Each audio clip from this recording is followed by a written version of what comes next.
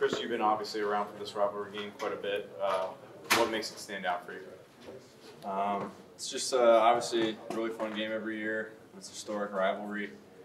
Um, we get to play every year, alternating back and forth, our place, their place. Always a good crowd, always a lot of excitement surrounding it. So it's definitely a privilege to, to be a part of a game like this.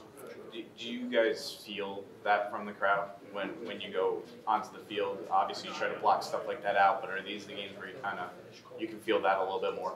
Yeah, it's definitely a game you like to have at home um, against a big rival like this because, like I said, everybody gets real excited about it. You know, the students are into it, all the other fans are into it.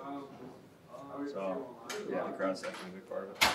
Chris, what kind of, uh, I guess, momentum comes from winning against a rival like USC going into a bye week? Does that kind of give you guys a, a good way to reset going into the next game once you have that week off? Or Yeah, I mean, beating a rival always just feels good no matter the circumstances. You know, kind of records are thrown out the window when you're playing a rivalry game because everybody everybody wants it just as bad, um, no matter what the circumstances are. So it's always a good feeling if you can get the win, and you know, be celebrating in the locker room, and, and then, uh, like you said, take that take that feeling and move it forward.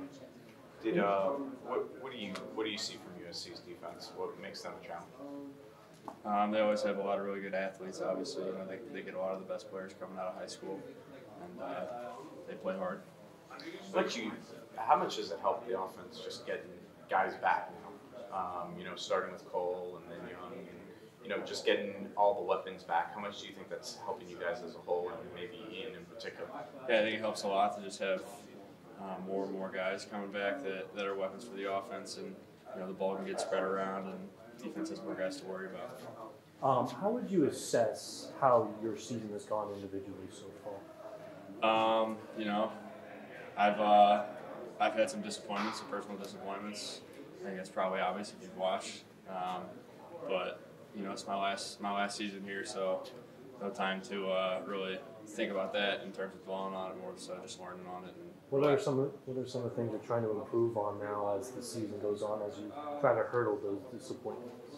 Um, I'm just you know relaxing and enjoying it. Um, like I said, it's being my last season, just just playing football and having fun.